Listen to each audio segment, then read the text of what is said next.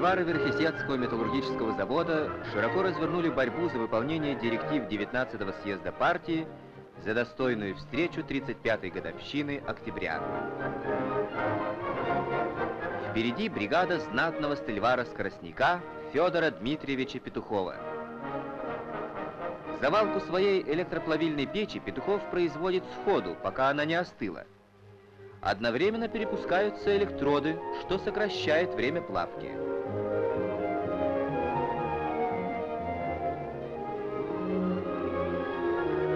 Петухов заметил неравномерное плавление шихты. Стелевары сталкивают шихту с откосов на середину. Скорость плавки нарастает.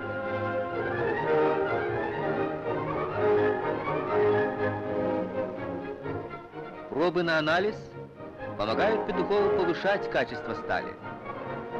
Бригадир Петухов и мастер Черноскутов решают. Пора начать выпуск. Сталь готова. Сталевары-скоростники выдают тысячи тонн высококачественной стали сверхплана. Не отстают от сталеваров и прокатчики Верхесецкого завода.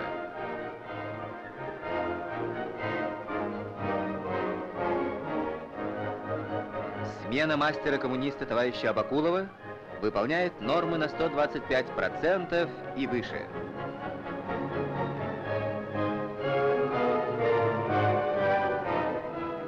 Секрет успеха прокатчиков в полном использовании каждой секунды рабочего времени, в точном соблюдении технологии проката.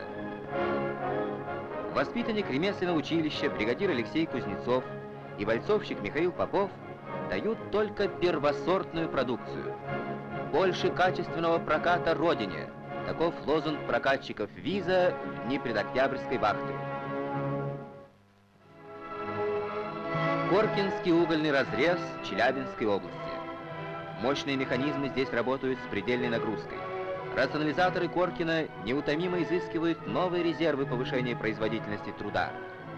Машинист Петр Ильич Быков внес свою новаторскую поправку в конструкцию экскаватора марки УЗТМ, заменив трехкубовый ковш пятикубовым.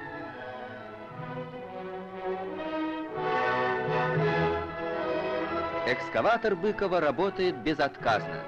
Стахановская поправка принята для внедрения в серийное производство на Уралмашзаводе.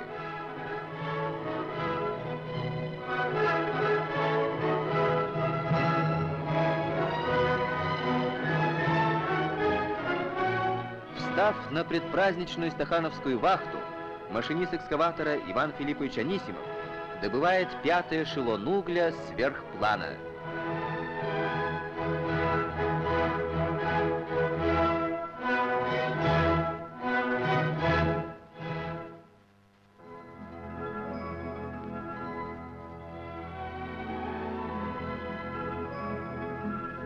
Кама.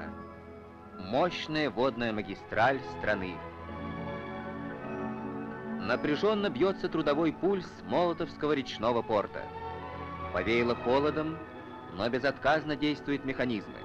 Самоотверженно трудятся люди на всех участках большого портового хозяйства.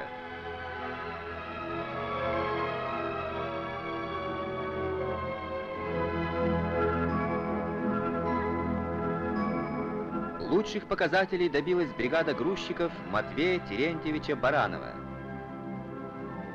Не меньше 150% плана. Таков показатель стахановки-крановщицы Нины Александровны Смирновой.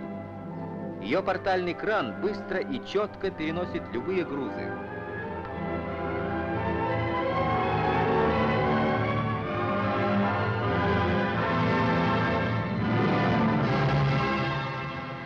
Стахановский коллектив землечерпательной машины «Камская-3» во главе с командиром Северовым и порторгом Плюсниным углубляют дно рейда и добывают тысячи тонн гравия для строек города и порта. Летняя навигация в Молотовском речном порту завершается успешно.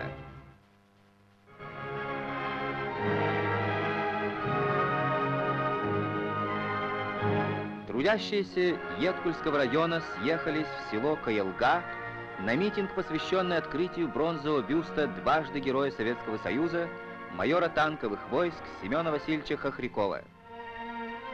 Среди выступающих сестра Хохрякова Людмила Васильевна.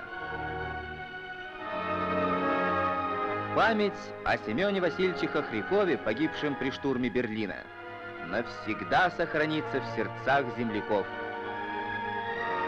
Образ отважного воина будет служить для советской молодежи ярким примером героизма и беззаветной преданности любимой отчизне.